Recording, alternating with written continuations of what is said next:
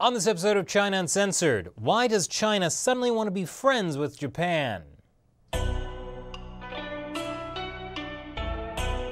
Welcome back to China Uncensored. I'm your host, Chris Chappell. Last week marked the 45th anniversary of diplomatic ties between China and Japan. And suddenly, it seems like they're best buddies. And that's weird. Until 1972, their diplomatic ties consisted of a brutal military invasion which China still refers to not as World War II, but as the War of Resistance against Japanese aggression. And the war was followed by nearly 30 years of anti Japanese propaganda. But eventually, diplomatic ties were restored. And now, relations between China and Japan have never been better. In a rare appearance, Japanese Prime Minister Shinzo Abe actually showed up to an event hosted by the Chinese embassy in Tokyo.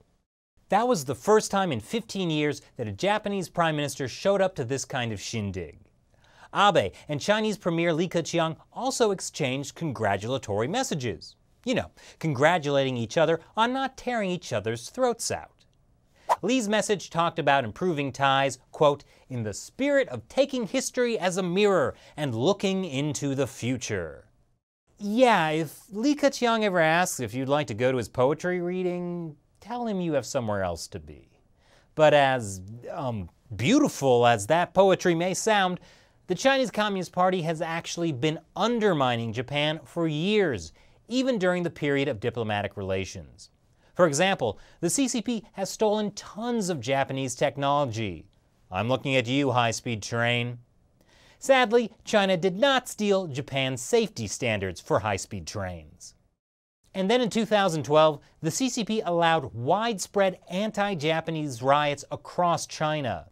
It was sparked by a dispute over some small uninhabited islands.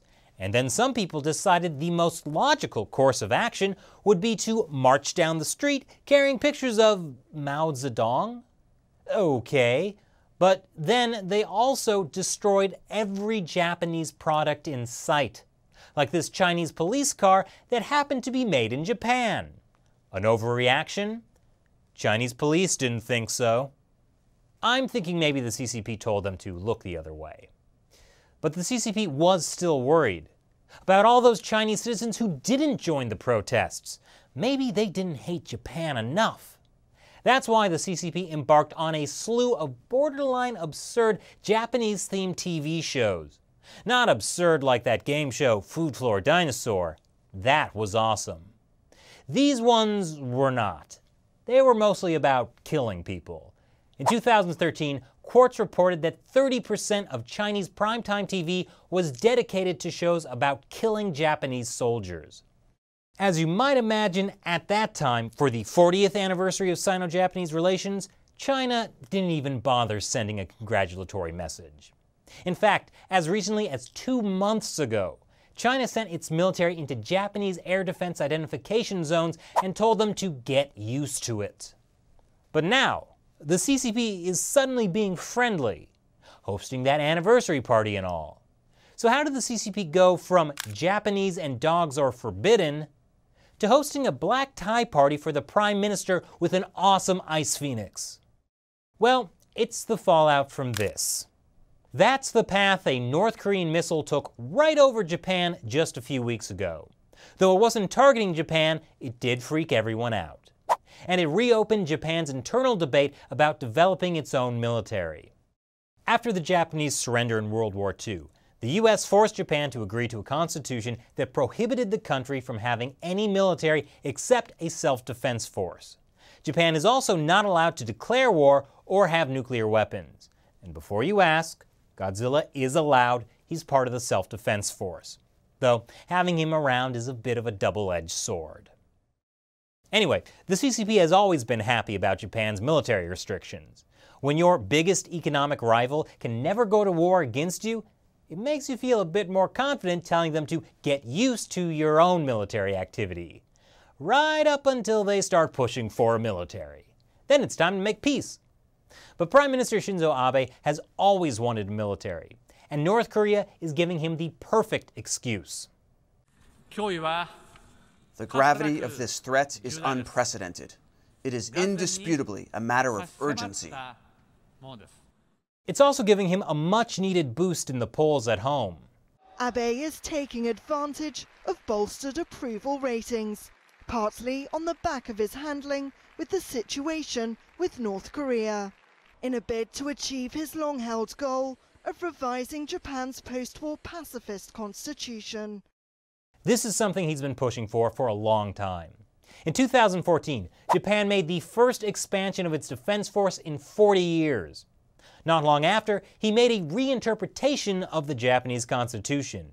Instead of limiting military force to Japan's self-defense, Japan could now also use its military to defend an ally. And just a few months ago, Abe put a deadline on his plans to change the constitution.